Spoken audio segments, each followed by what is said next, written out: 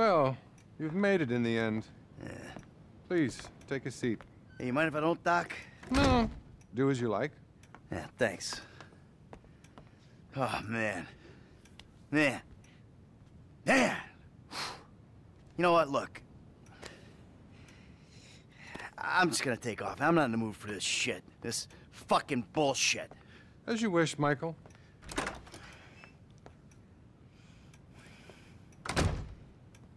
Can I ask you something, Doc?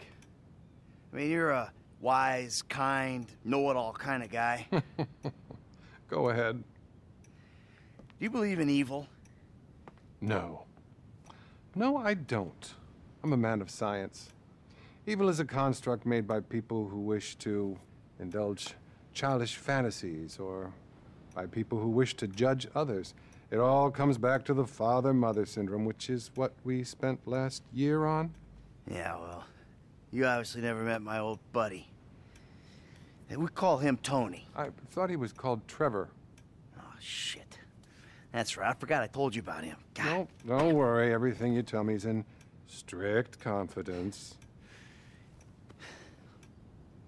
Didn't you tell me that if I turned things over, you know, started again, that the universe would find some way to forgive me? Wasn't that you? And have you turned things over? Well, no. I mean, you know, not really. But that's not the point. I mean, I, I wanted to. That is the point. What's been going on exactly, Michael? I think you'll call this a bad relapse. Relapse is a vital part of recovery. Boy, where do I start? I went back into the business. That business. I gotta be honest with you, Doc. I mean, why am I paying you all this money if not to be honest? For once. It felt good. That government guy I told you about, he got wind of it. It's fine. Expected. Problem is, he's not the only one. He fucking found me, Doc. My old pal, Trevor. He's alive and he ain't going nowhere. This is bad, Doc. You gotta help me. Hmm. Honesty's an obstacle for you, Michael. Have you considered that transparency might be less painful than obfuscation?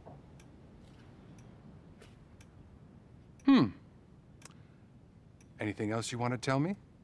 Yeah. Even on the way over here, I think I killed someone. And you know what? I don't care. I'm sick, Doc. I'm a sick, hypocritical fuck. I agree, which is why you should really bulk buy a batch of sessions.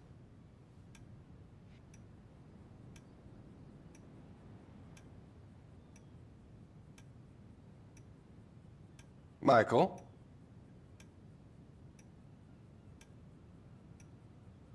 You listen to me, asshole. I never said I was perfect.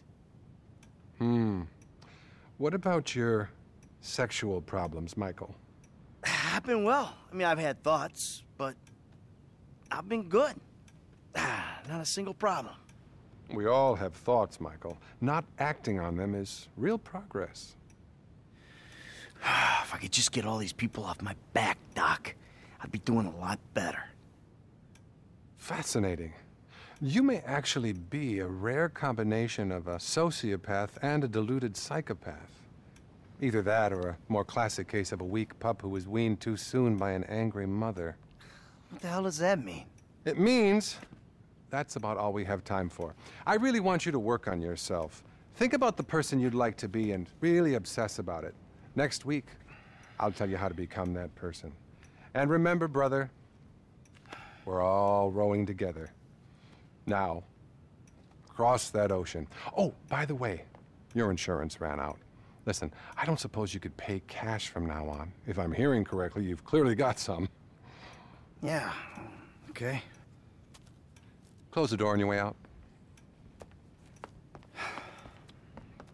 And, buddy, chin up, okay?